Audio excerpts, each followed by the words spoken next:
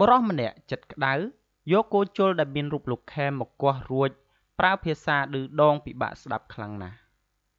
ប្រិមិត្តប្រហែលជាបានជ្រាបរួចហើយករណីរឿងរ៉ាវតាក់ទងទៅនឹងហេតុការណ៍ដែលយុវជនខ្មែរមួយក្រុម បានថតទស្សនភាពតារាចម្រៀងរបស់លោកហេងឡុង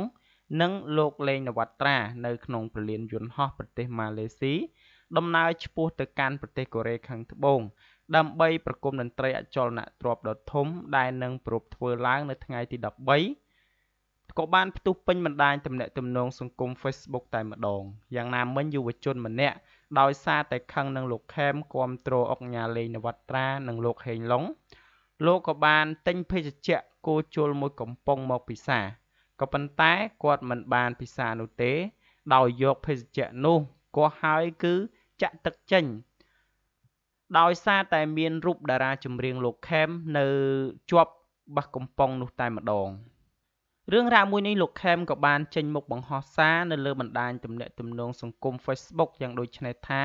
សេចក្តីអត់ធ្មត់វាពិតជាមានព្រំដែនក៏ប៉ុន្តែសេចក្តីស្រឡាញ់វាគ្មានព្រំដែននោះទេ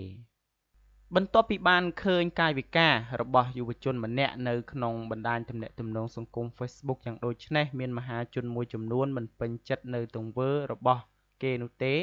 ដោយសារតែធ្វើនេះគឺមើងងាយខ្លាំងទៅដល់លោកខេម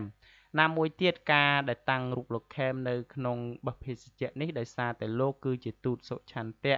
និងជាអ្នកផ្សព្វផ្សាយផលិតផលមួយនេះ បាទដូច្នេះសម្រាប់ព័ត៌មាននេះផងដែរខ្ញុំបាទសូមបញ្ចប់ត្រឹមតែប៉ុណ្ណេះសូមអរគុណរាល់ការតាមដាននិងការចុច Subscribe របស់បងប្អូនទាំងអស់គ្នាមកកាន់ Channel Star News